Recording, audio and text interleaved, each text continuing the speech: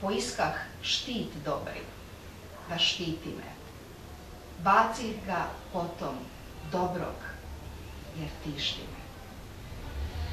Tih samo 13 riječi su meni nekako bili moto moga ovaj, daljnjeg života. Zapravo i života, a i pisanja. Tako da se e,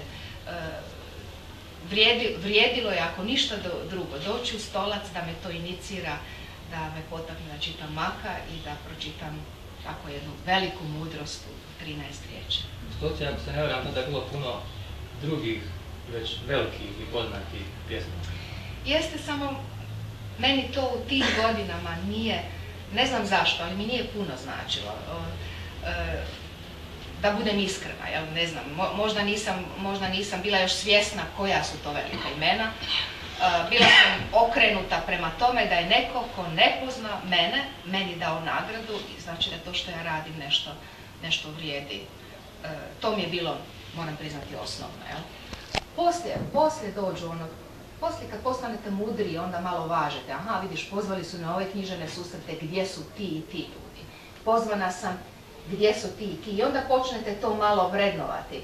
A dok ste mladi, rasterećeni ste nekoga, nekih tih e, vrijednosti takvih, jel? nego uživate u tom nekom trenutku na jedan drugačiji način. Tako je možda i najljepše, manje kako Mr. Admiral, ne znam kako da vas zovem.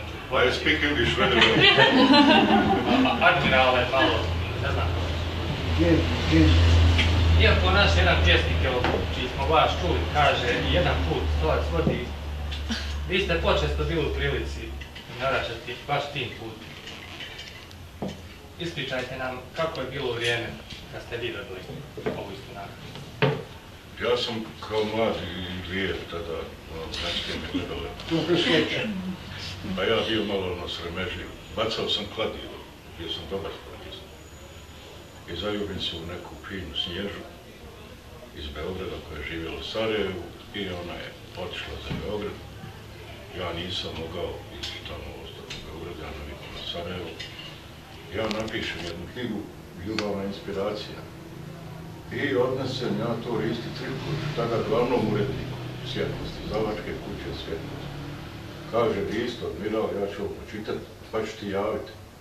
I javim za 7 dana, kaže, idi gore, potpiši honorar nigdje kraja nije bilo mom veselju, ali i ludosti. I posle toga desili su se susreti na tjemtištu mladog Sutjeske i ja nešto pukao da idem gore sa mladim piscima, slikarima, džezistima i tako dalje. I ovaj jedan od pjesnika, neću da ga imenujem, ovaj, tako dalje, nešto me nije ono potivio, ne znam čega, bio je malo sarkastičan, a ja ne volim puno sarkastične ljude, ja to odmah odjebem. I ovaj, kaže, ne možeš ti ići na kjemtište. Ja, tad naše društvo pisaca bilo, ja sam već kao mlad primjen, ovaj, posle te knjige su me primili društvo pisaca, ja kod maka dizda. A on kao bijeli labod, dobri, dobričak u očima, osmijeh, nije, nije sarkastičan kao ovaj pisac što nije htio da je priđa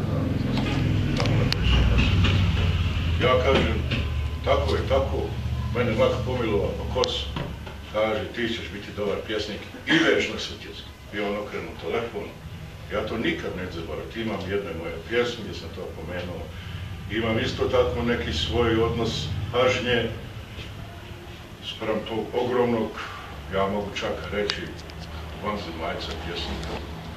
Ovaj, odem recimo nekad tako, kad imam, odnesem tetki, cvijeće, tetku, nani, a tu je blizu i mako spomenik.